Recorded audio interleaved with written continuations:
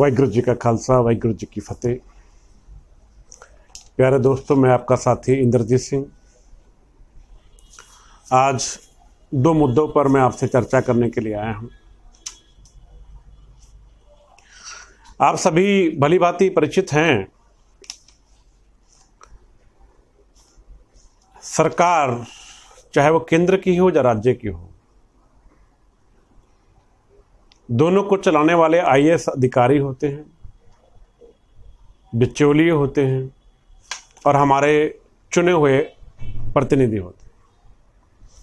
मेरे शब्द कुछ कड़वे उन लोगों को लग सकते हैं जो इन शब्दों से कहीं ना कहीं संबंधित होंगे। अगर कोई संबंधित नहीं है, किसी को बिचौलिए की ज़रूरत नहीं है तो मेरी शब्द का वो बुरा अर्थ नहीं निकालेगा।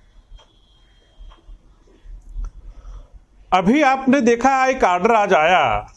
हाई सिक्योरिटी नंबर प्लेट का। बहुत से लोगों को जानकारी नहीं है कि हाई सिक्योरिटी जो नंबर प्लेट है, वो जिस पे शेर का निशान बना आता है, जो कि नई गाड़ियों में लगकर आई है और पुरानी गाड़ियों में नहीं थी।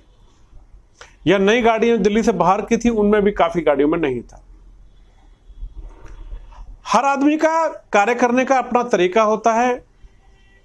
हम लोग भी प्रयास करते हैं। हमने सरकार से एक ही बात मानी थी, पैनिक बटन के ऊपर। आप सभी को जानकारी होगी 14 अप्रैल 2018 को हमने बुराड़ी के अंदर एक प्रोटेस्ट किया था और उसकी देन थी कि पैनिक बटन आपका ये बात तय हो गई थी कि जब भी गाड़ी नहीं ली जाएगी, उसमें लग कर आएगा, पुरानी गाड़ी को नहीं छड़ा जाएगा।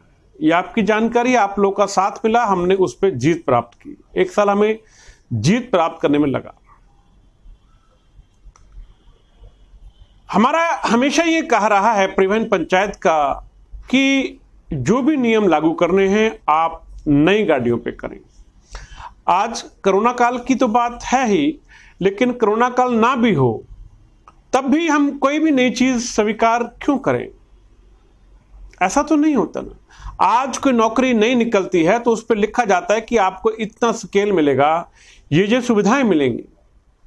अमेंडमेंट जो होता है पे कमीशन कोई अगर दो में शामिल हुआ था और आज पे कमीशन आठ में हो रहा है तो दोनों की सैलरी में बहुत फ़र्क है। जो लोग सरकारी नौकरी से वाकिफ हैं, उनको जानकारी इस बारे में ज़्यादा होगी। जो लोग ज़्यादा पढ़ते हैं, उनको भी जानकारी होगी पे कमीशन का मतलब क्या होता है। तनख्वाह बहुत बढ़ गई थी। छठे पे कमीशन में तनख्वाह बहुत हो गई थी। सातवें में तो माशाल्लाह और आठवें की तो मैं ये बातें क्यों कर रहा हूँ कि कुछ भी करना है, उसके लिए आप किसी दूसरे पे आश्रित क्यों रहते हो? क्या आपको नहीं लगता कि कुछ भी नया नहीं होना चाहिए? हम लोगों ने प्रयास किया। हमने पैनिक बटन को रुकवाया, हमने जीपीएस को रुकवाया। और आज आपके सभी के सहयोग से 27 अक्टूबर को जो हमने प्रदर्शन किया, उसमें हमने चलानों के जो ओवर स्पीड के चलान थे या जो भी चलान थे, उन चलानों को रोकने के लिए सरकार से बात करी और उस बात का रिज़ल्ट आप लोगों के पास शने शने पहुँच रहा है ऐसा ऐसा पहुँच भी रहा है। लोग बोल रहे हैं कि भाई साहब, कोर्ट का फैसला आया है, सरकार का फैसला आया है, फलां का फैसला आया है। 27 अक्टूबर को जो बातें हमने की थी, प्रधानमंत्री गडकरी, दिल्ली के मुख्यमंत्री, जिनको दी गई थी और उससे पहले जो मैंने आपको बताया था, चौदह जून को हमारा प्रोटेस्ट जो होने वाला था, तेरह जून को जो हमारा आश्वासन मिला था, केंद्रीय मंत्री के निजी सचिव द्वारा, उसने कहा था कि आपके चलान नहीं भरे जाएँगे। ये बात आपसे मैंने कही थी। आप सभी लोग इस बात से सहमत होंगे। आज वही परिवहन पंचायत की जीत है। आप लोग चेक करके देखिए, आपका कोई भी हज़ार का, दो हज़ार का चलान नज़र आ रहा है क्या आपको? जो थोड़ा बच गया है ना ये भी माफ़ हो जाएगा। थोड़ा धीरे, धीरज रखिए आप लोग। वन की बात आप लोग करते हैं? पेनल्टी का हमने आप लोगों से वादा किया था कि हम माफ़ करा के रखेंगे। वो हमने करवा दी है। आप सभी के सहयोग से करवाइए। मैं हमेशा कोई भी कार्य करता हूँ, आप सभी के सहयोग से करता हूँ। बृहस्पतिवार या शुक्रवार को इसका आदेश आपकी जो स्क्रीन है, जहाँ पे आप भरते हैं, वहाँ पर आपको नज़र आ जाएगा। संगठन में ताकत क्या है, ये आप अगर बारीकी से हमारी सारी वीडियो सुने तो आपको समझ में आ जाएगा। मैं अभी लोगों से मिलता हूँ तो लोग कहते हैं, जी वॉइस ऑफ़ ट्रांसपोर्ट क्या है? डीडी न्यूज़ हिंदी क्या है? परिवहन पंचायत क्या हम लोग जानते नहीं। ये हमारी कमी है, हमारा फेलियर है कि हम इस किसी वीडियो को आगे नहीं भेजते। अगर हम ये वीडियो आगे भेजें तो आपको नहीं लगता कि इसका फ़ायदा किसी को होगा? हमारे भाइयों को तो होगा। हमारे भाई तो इसका फ़ायदा उठा पाएँगे। आज जिनको नहीं ज्ञान था कि पेनल्टी नहीं भर रही उन लोगों ने भर दिया ज्ञानता अवश्य तो इसी प्रकार हाई सिक्योरिटी प्लेट की बात मैं करता हूँ कि आप लोग आज अभी भी अगर विश्वास कर लें कि कोई भी आदमी इसको रजिस्टर नहीं करेगा तो आपका कोई बाल भी बांका नहीं कर पाएगा। अब इस शब्द का मायना बदल जाता है। यहाँ लोग साथ की बजाय सवालात्मक आ जाते हैं क्वेश्चनिंग आ जाती है। भाई, मैं नहीं भरूँगा तो क्या मेरे पेनल्टी आप भर दोगे? मुझे एक बात बताएँ। जब जुर्माने आप लोग भर रहे थे, मैंने कहा, रुक जाओ तब देसी भाषा में बोलूँ, फटी पड़ी थी। तब किसी ने नहीं कहा कि दो लाख भर दूँ मैं। तब वो बात मेरी जानबूझकर स्वीकार कर ली कि देखा जाएगा जो होगा। माना ना आप लोगों ने नहीं भरे ना किसी ने फाइन हमने बार बार लोक अदालत लगी, लोगों ने बार बार कहा, हम जाएँ जाएँ जाएँ जाएँ। मैंने कहा, रुक जाओ भाई। अभी एक घंटा पहले मेरी बातचीत हुई। वन आरटी के बारे में कि किस प्रकार से जो मुख्यमंत्री ने हमें आश्वासन दिया है कि हमने खत्म कर दिया है, क्यों नहीं हो पाई? उन्होंने कहा कुछ टेक्निकल इशू थे, वो बृहस्पति या शुक्रवार तक खत्म हो जाएँगे। हमने मान लिया। पैनिक बटन आप सभी को पता है कि पुरानी गाड़ी पे नहीं लग रहा। अब मेरा जो सवाल है आप लोगों से, वो ये है, आप लोग गाड़ी पास कराने जा रहे हैं बार बार बुराड़ी जाते हैं। आप लोग स्पीड गवर्नर का जो है सर्टिफिकेट ले रहे हैं हर बार। स्पीड गवर्नर लगा हुआ है, आपकी गाड़ी में वर्किंग है, जो टीम हमारी चेक करने चेक कर लेना, हम कब मना कर रहे हैं। मेरी गाड़ी नहीं चलती। और दिल्ली सरकार की बसें और क्लस्टर बसें कोई भी स्पीड पर नहीं चलती, उनमें तो गवर्नर है ही नहीं। एक राज्य में दो नियम नहीं हो सकते, परंतु हमारे मित्र संगठित नहीं है। हम लोग रोज प्रयास करते हैं कि भाई आप लोग यूट्यूब चैनल को वॉइस ऑफ़ ट्रांसपोर्ट को सब्सक्राइब कर लियो YouTube channel DDC news Hindi को सब्सक्राइब कर लें। आप लोग परिवहन पंचायत की फेसबुक का आरपीपी ग्रुप ज्वाइन कर लें, जिसके आपको मैसेजेस मिलते रहें और आप आगे अपने दोस्तों को भेज दें, जिससे उनको भी अवेयरनेस आए, उनको भी जानकारी मिलती रहे। लेकिन कोई नहीं सुनना चाहता।